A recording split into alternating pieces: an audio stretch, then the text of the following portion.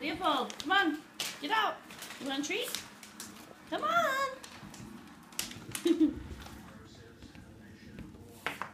oh, now he's going to really try.